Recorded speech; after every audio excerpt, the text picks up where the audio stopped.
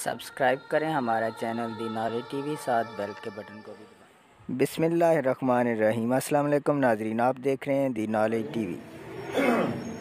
आज आपका Pakistan Punjab teacher union के जनाब अल्लाह रखा गुजर साहब मलिक लतीफ शहजाद साहब राय गुलाम मुस्तफ़ा रियाज साहब मियाँ अफजल साहब इन पंजाब टीचर यूनियन के फाल दड़ों, जिनमें क्रैश साहब भी शामिल हैं, ये भी आज के इंतहाई अहम अजलास में शामिल हुए हैं। पाकिस्तान रेलवे के मियाँ महमूद नगियाना साहब मुख्तलिफ़ तंजीमों का कम्बाइंड अजलास हुआ है, जिसमें वफाकी हुकूमत और सूबाई हुकूमतों ने सरकारी मुलाजमीन के साथ इंतहाई धोखाधही से मजाकरात हमारे साथ करते रहे।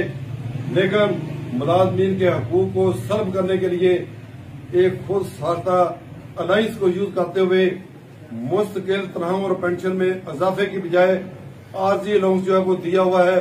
उस अलाउंस की हम मजम्मत करते हैं और आज फिर ये याद दिलाते हैं कि परवेज खटक साहब, आपकी ज़िम्मेदारी वज़ीर अजम पाकिस्तान इमरान खान साहब ने 14 अक्टूबर 2020 को हमारे धरने के नतीजा पर ज़िम्मेदारी सौंपी थी।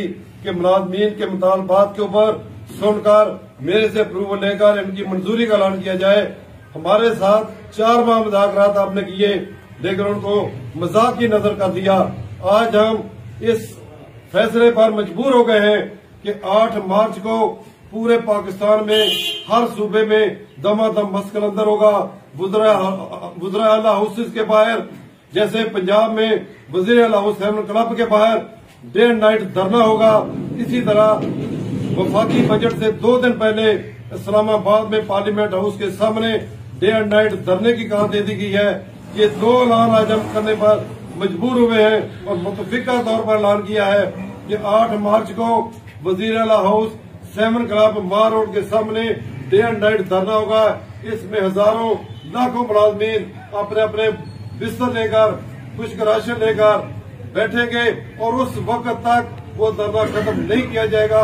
कोई मुजाकर नहीं किए जाएँगे।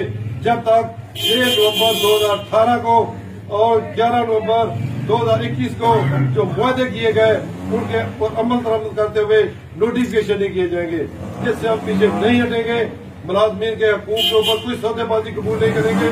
मुलाजमीन के असल हकूक जो है तरह में, पेंशन में सौ फ़ीसद दफ़ा तमाम अठाक जम करना और ग्रुप इंश्योरेंस की रकम रिटायरमेंट पर देने का नोटिफिकेशन करना और वफाकी मुलाजमीन को वादे के मुताबिक परवेज खटक के हमारे साथ किए गए वादे के मुताबिक, यकम जनवरी 2021 से वफाकी मुलाजमीन की अपग्रेडेशन इम्प्लीमेंट करना।